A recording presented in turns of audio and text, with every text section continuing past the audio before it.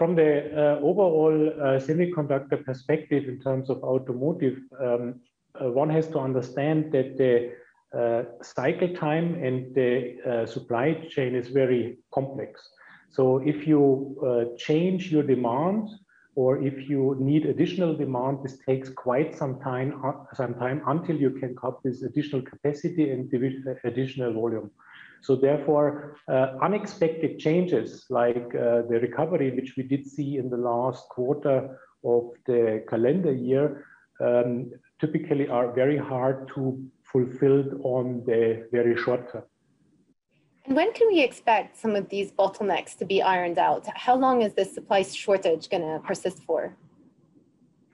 Yeah, the duration of that basically has to do with the uh, how fast semiconductor companies can install capacity. So the manufacturing process is quite a complex process, and it takes quite some time to get new tools into the uh, uh, into the fabs and to qualify that. So therefore, from that perspective, we need to assume that this situation will take uh, several more months until we can uh, see a relaxation in the overall supply chain.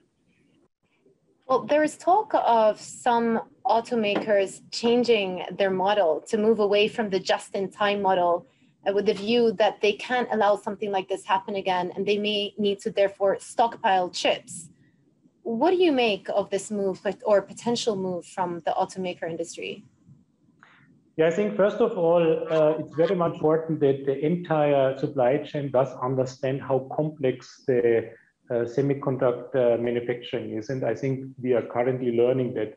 Um, therefore, having a, a, change in terms of a more long-term as well as a more transparent planning makes sense. So having longer planning cycles and planning horizon uh, having a more transparency along the entire value chain and also having then uh, the, the, the, the, behavior that if there are downturns that uh, people do not or companies do not reduce the inventory because it's very good to have that inventory for the upswing ready.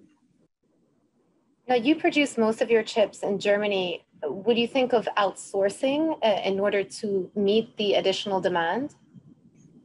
Yeah, so basically Infineon has a clear strategy about uh, what do we manufacture in-house in our own fabs and what, where do we use uh, manufacturing partners.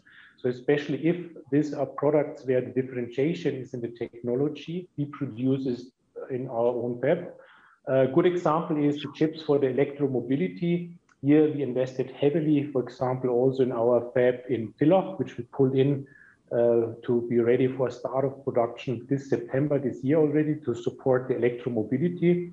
But there is other products such as, for example, microcontrollers where we use external manufacturing partners.